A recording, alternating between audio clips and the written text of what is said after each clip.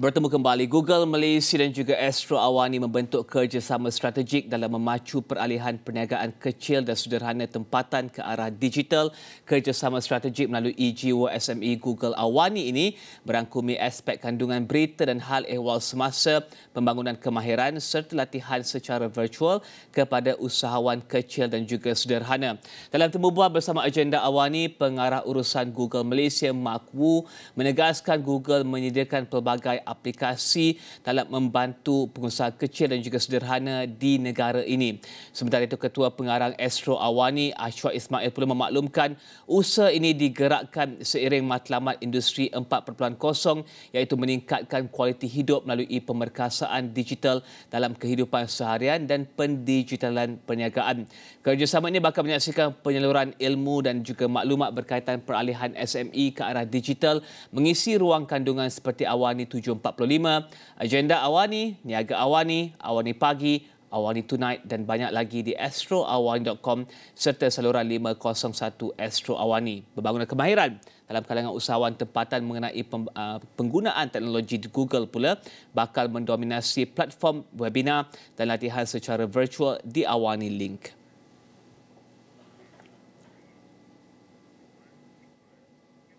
Seterusnya, seorang remaja tidak menang tangan menghasilkan 20,000 biji biskut raya pelbagai jenis yang ditempah pelanggan. Nur Ain uh, Farha Farana Muhammad Saiful Ashraf, 18 uh, tahun merupakan bekas pesakit kanser buah pinggang gigih mencari wang untuk menyambung pengajian di universiti dengan bersengkang mata menyiapkan tempahan biskut raya. Menurut Nur Ain Farha Farana, sejak tingkatan satu dia mula belajar ilmu membuat biskut di laman YouTube dan guru di sekolahnya. Katanya tempahan biskut dibuka sejak awal Ramadan lalu di media sosial miliknya dan dia menghasilkan tempahan biskut di dapur kediamannya di program Perumahan Rakyat PPR Gomusang Kelantan. Kami nak cak kecil lagi, tu dapat gapa dah sokongnya daripada Umi gapa terus sekali lah. Moga duduk saja ke pakai Tunggu result SPM Walaupun sakit Macam usaha lah untuk dapat ke sesuatu benda tu Dengan diri sendiri. Macam tak jangan agak kau lain itu Itu je lah gitu uh, Kalau ada kelebihan teruskan. Tengok dia memang minat sangat. Tu dia jadi support sangat tu. Support memang tengok dia daripada tingkat satu lagi. Tengok dia minat jadi malah saya sebagai ibu maksudnya. Sokong belakang je lah tak maksudnya ada ke apa perlu untuk dia buat Nur Ain yang merupakan bekas pelajar sijil pelajaran Malaysia SPM Sekolah Menengah Kebangsaan Tengku Indra Petra kini masih menjalani rawatan susulan selama enam bulan sekali di Hospital University Sains Malaysia HUSM Kubang Kerian selepas buah pinggangnya dibuang. Antara biskut yang mendapat permintaan ialah Elman London, Tak Nenas, Sarang Semut dan Semprit. Harga biskut rayanya berharga antara RM13 sehingga RM16 bagi satu balak. Dan kemampuan bertahan dalam perniagaan terutama ketika pandemik COVID-19 bukan satu perkara mudah terutama bagi kumpulan pengusaha yang baru bertapak dalam industri sekitar 2 ke 3 tahun. Bagi gudang perabot hotel yang memulakan operasi pada tahun 2019, pengenalan pendigitalan dalam perniagaan khususnya melibatkan aktiviti jual beli atas talian menjadikan perusahaan barangan perabot hotel terpakai sebagai kalis krisis. Pengusaha perusahaan gudang perabot hotel Khairul Akmal Hanafi 45 tahun menyatakan bahawa dia menyedari kepentingan mengaplikasikan teknologi digital dalam perniagaan selepas mengambil kira sambutan dan kehadiran pelanggan secara fizikal di beberapa gudangnya yang dibuka di Alustar, Setapak dan Rawang.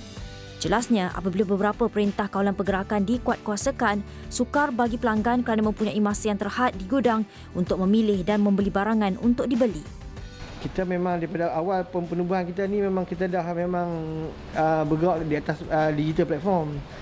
Jadi kita cuba explore uh, kita cuba jadi uh, sebuah uh, kedai perabot digital yang mana kita uh, marketkan uh, produk-produk kita melalui pelbagai marketplace lah. Kita juga ada kita punya sendiri online store iaitu www.gudangperabothotel.com.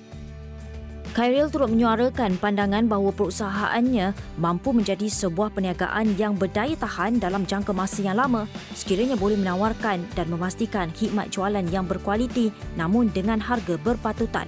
Bersesuaian dengan moto perusahaan gaya mewah harga murah, Ini menjadikan gudang perabot hotel alternatif terbaik kepada orang ramai bagi mendapatkan barangan terpakai dari hotel dengan sehingga serendah 80% dari harga jualan asal. Kita punya tagline ialah gaya mewah, harga murah. Uh, jadi kita pentingkan kita agak selektif in terms of kita punya produk lah. Jadi kita pastikan produk-produk yang kita ambil masuk ni bersesuaian dengan trend sekarang.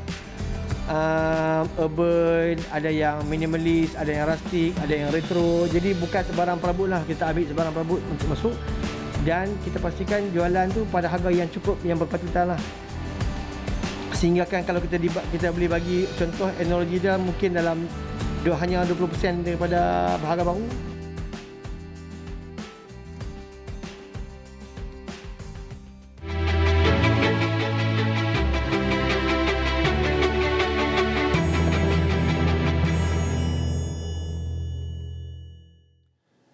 Dan paparan itu mengakhiri Niaga Awani teruskan bersama kami di Astro Awani. Saya Rizal Zulkapli. Salam hormat.